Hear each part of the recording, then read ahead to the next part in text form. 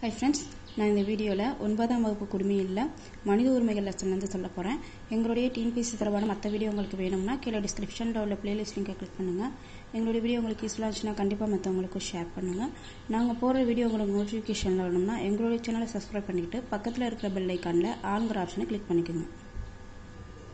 ஒன்பதாம் வகுப்பு குடிமையில் இரண்டாம் பருவத்தில் உள்ள லெசன் தான் வந்து இந்த மனித உரிமைகள் லெசன் மனித உரிமைகள். இதில் ஃபஸ்ட்டு வந்து ஒரு சின்ன கதை மாதிரி ஒன்று சொல்லியிருப்பாங்க.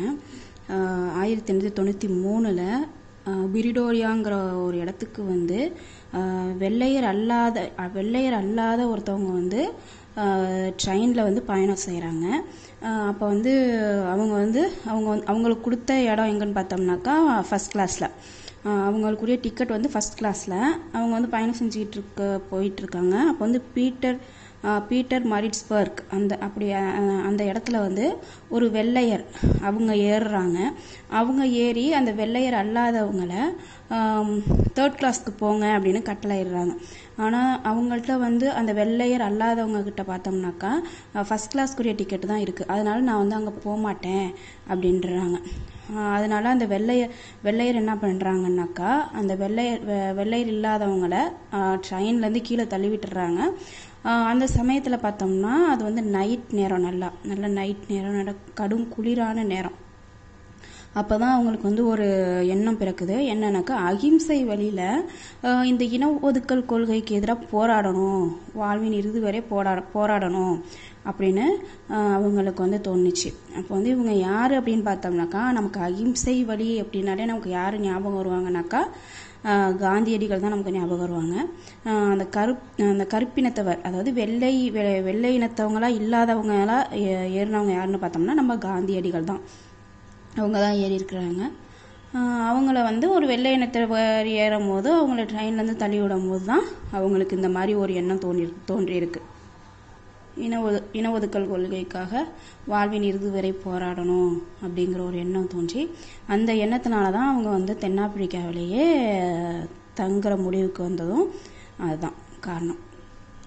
நான் புக்கில் உள்ள ஹின்ஸ் சொல்கிறேன் ஆயிரத்தி எண்ணூற்றி தொண்ணூற்றி மூன்றாம் ஆண்டு ஜூன் மாதம் தென்னமே தென்னாப்பிரிக்காவில் பிரிடோரியா என்னும் இடத்திற்கு தொடர்வண்டியில் முதல் வகுப்பில் வெள்ளையர் அல்லாத ஒருவர் பயணம் செய்து கொண்டிருந்தார்.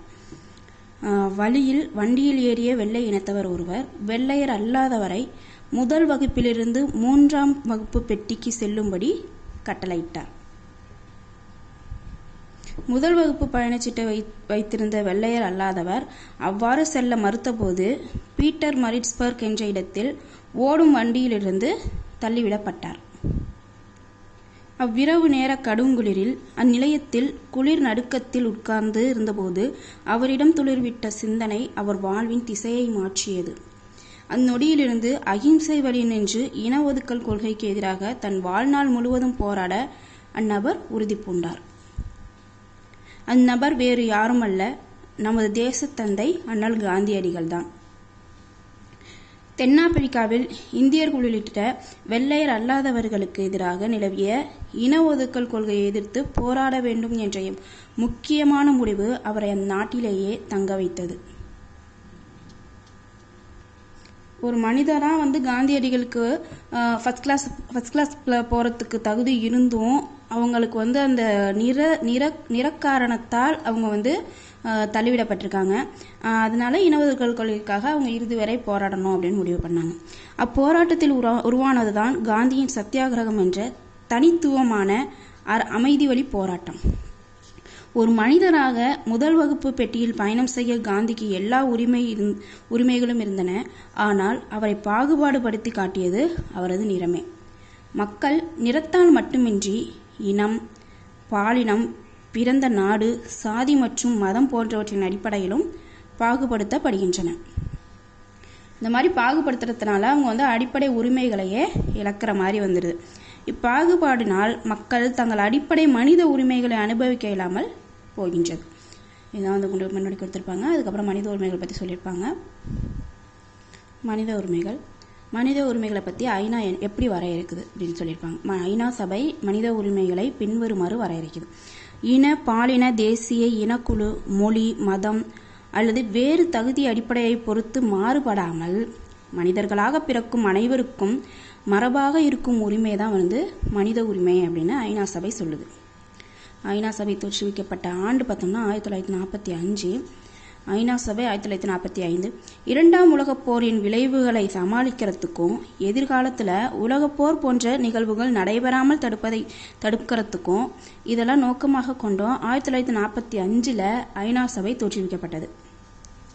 மனித உரிமைகளை நடைமுறைப்படுத்துறதுல உலகளாவிய மனித உரிமைகள் பேரறிக்கை வந்து பெரும் பங்கு வகிக்குது. உலகளாவிய மனித மனித உரிமைகள் பேரறிக்கை பெரும் பங்கு வகிக்குது. அடுத்து உலகளாவிய மனித உரிமைகள் பேரறிக்கை பற்றி சொல்லியிருப்பாங்க. வெவ்வேறு சட்ட மற்றும் பண்பாட்டு பின்னணியோட உலகின் பல்வேறு பகுதிகளிலிருந்து கலந்து கொண்ட பிரதிநிதிகளால் தயாரிக்கப்பட்டது தான் வந்து இந்த உலகளாவிய மனித உரிமைகள் பேரறிக்கை. இந்த உலகள உலகளாவிய மனித உரிமைகள் பேரறிக்கையை மனித உரிமைகள் வரலாற்றோட ஒரு மைல்கல் அப்படின்னு சொல்கிறாங்க ஆயிரத்தி தொள்ளாயிரத்தி நாற்பத்தி எட்டில் டிசம்பர் பத்தில் வந்து பாரிஸில் ஐநா பொதுச்சபை மாநாடு நடந்திருக்கு. இந்த மாநாட்டில் தான் இந்த பேரறிக்கை வந்து நிறைவேற்றப்பட்டிருக்கு. எந்த தீர்மானத்தைப்படியும் பார்த்தோம்னா பொதுச்சபை தீர்மானம் இரநூத்தி பதினேழு ஏ தீர்மானத்தின்படி தான் இந்த உலகளாவிய மனித உரிமைகள் பேரறிக்கை நிறைவேற்றப்பட்டிருக்கு. ஆயிரத்தி தொள்ளாயிரத்தி நாற்பத்தி எட்டு டிசம்பர் பத்து பாரிஸில் நடைபெற்ற ஐநா பொது சபையில் நிறைவேற்றப்பட்ட இந்த பேரறிக்கை. இந்த பேரறிக்கை எந்த தீர்மானத்தின்படி நிறைவேற்றப்பட்டிருக்குன்னா பொதுச்சபை தீர்மானம் இரநூத்தி பதினேழு ஏ. பேரறிக்கை அனைத்துலக நாடுகள் மற்றும் அனைத்துலக மக்களின் பொதுத்தர சாதனை ஆகும்னு சொல்லியிருக்காங்க. அடுத்து வந்து இந்த அடிப்படை மனித உரிமைகள் உலகளவில் பாதுகாக்கப்பட வேண்டும் என் எனும் நோக்கம் வந்து இந்த பேரறிக்கையில் தான் இருக்குது அடிப்படை மனித உரிமைகளை அடிப்படை மனித உரிமைகளை உலகளவில் பாதுகாக்கப்பட வேணும் அப்படின்னு கொண்ட நோக்கம் கொண்ட முதல் பேரறிக்கையை வந்து இது. இந்த பேரறிக்கையில் இந்த பேரறிக்கையில் பார்த்தோம்னா முப்பது உறுப்புகள் இருக்குது இந்த பேரறிக்கையை பல மொழிகளில் மொழிபெயர்த்திருக்காங்க. பல மொழிகளில் மொழிபெயர்த்திருக்காங்க. இந்த மனித உரிமைகள் பற்றி உலகளாவிய பேரறிக்கையில் முப்பது உறுப்புகள் இருக்குது அது சுதந்திரத்திற்கான உரிமை உரிமையை உறுதி செய்வதோடு குடிமை அரசியல் சமூக பொருளாதார மற்றும் பண்பாட்டு உரிமைகளையும் தருது. உரிமைகள் இனம் பால் தேசியம் ஆகியவற்றை கடந்து அனைத்து மக்களுக்கும் பொருந்தும். ஏனெனில் மனிதர்கள் அனைவரும் சுதந்திரமாகவும் சம உரிமையோடும் பிறக்கிறாங்க. அடுத்து வந்து சமூக பொருளாதார மற்றும் பண்பாட்டு உரிமைகள்.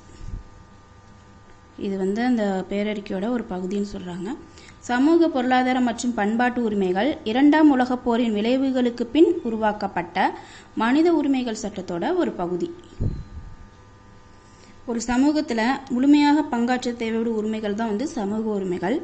ஒவ்வொரு மனிதனும் தனது தேவைகளை நிறைவேற்ற நிறைவேற்றக்கூடிய பொருளாதார நிலைக்கு உறுதி அளிக்கிறது தான் வந்து பொருளாதார உரிமைகள். அடுத்து வந்து குடிமை மற்றும் அரசியல் உரிமைகள். இது வந்து தனி மனிதனின் சுதந்திரத்தை பாதுகாக்கிறது. அரசு சமூக நிறுவனங்கள் மற்றும் தனியாரின் அத்துமீறல்களிடமிருந்து ஒரு தனி மனிதனின் சுதந்திரத்தை பாதுகாக்கிறது தான் வந்து இந்த உரிமைகள். ஃபர்ஸ்ட் குடிமை உரிமைகள்னா என்னன்னு பார்ப்போம். குடிமை உரிமைகள் என்பன ஒவ்வொரு மனிதனுக்கும் இன தேசிய நிற பால் வயது சமயம் போன்ற பாகுபாடிலின்றி அரசின் சட்டத்தால் தரப்படும் உரிமைகளை குறிக்குது. அடுத்து வந்து அரசியல் உரிமைகள்னா என்னன்னாக்கா அரசியல்னா என்னன்னாக்கா அரசாங்கம் அமைக்கிறதும் நிர்வாகம் செய்கிறது தான் அந்த அரசியல். அதான் இங்கே கொடுத்துருப்பாங்க அரசாங்கம் அமைக்கவும் நிர்வாகம் செய்யவும் பயன்படுத்தப்படும் உரிமைகள் தான் வந்து அரசியல் உரிமைகள். தேங்க்யூ